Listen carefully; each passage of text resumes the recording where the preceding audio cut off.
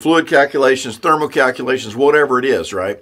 Tell me how what what analysis tools you used, and then R, tell me about the results.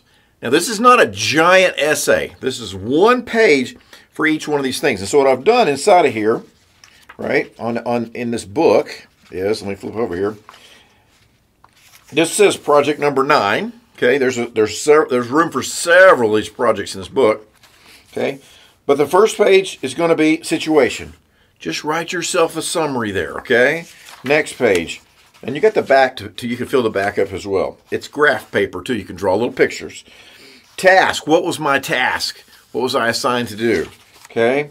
Analysis. And then finally, what were my results? And then keep that in your desk drawer. Okay. So when it comes time to apply for your PE license, bam, you already got everything recorded. Okay. Now when you fill this up, just get you another one. You keep these. Okay.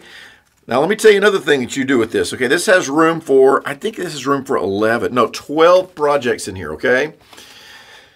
The other thing is keep this in your desk because guess what, gang? The boss has a very short memory, okay?